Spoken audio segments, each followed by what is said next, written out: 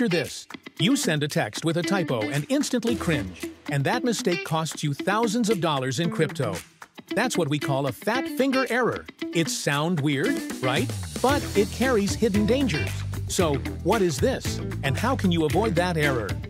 Stick around for today's video. We'll cover three main parts to give you more insights. Simply, the term fat finger error refers to a mistake that happens when someone presses the wrong button or types the wrong number by accident while making a financial transaction. Why is it called fat finger? It's a way of joking about accidentally pressing the wrong thing on a screen. The name comes from the idea that the mistake feels clumsy, like your finger is too big to hit the right spot, even though it's not really about size. For instance, imagine a trader wants to sell one BTC for $90,000, but by mistake, they type $9,000 instead. Their Bitcoin could instantly get bought at this super low price, thus losing a huge amount of money to the seller because of that one small error.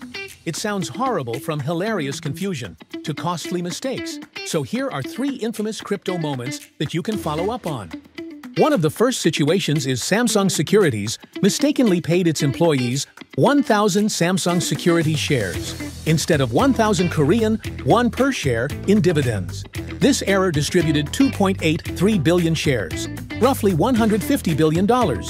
Mistakes happen, even in the world of high finance. In September 2021, a small decentralized finance DeFi trading platform called DeversiFi, since rebranded as Rhino.fi, incorrectly paid a $23.7 million fee for one of its transfers. After this problem occurs, led to an exorbitant fee. However, this platform was in luck because the miner who received the fee refunded the total amount. Besides that, in October 2021, a small coding error in the Compound Finance DeFi protocol accidentally sent $90 million worth of the Compound tokens to users. Despite pleas from the protocol's founder, some users decided to keep the unexpected windfall rather than return it. Well, fat finger errors caused a lot of problems, not only with crypto users, but also especially newbies. How to avoid that? Let's dive into three main key processes, including set limits, authorization, and automation. First, setting limits on trading platforms can help. For example, a system could block trades over a certain dollar amount, such as $3 million, to prevent accidental large orders. Second, requiring authorization for large trades adds an extra layer of security. For example, trades over $500,000 may require approval from a senior trader.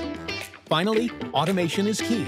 Using automated systems and algorithms to process orders can reduce the likelihood of human error, as manual entry during a busy trading day increases the risk of errors. By implementing these measures, you can protect against costly errors and have a smoother trading experience. Have you ever had a close call with a fat finger error? Let us know in the comments. Don't forget to subscribe for more tips to protect your assets with Seed Combinator.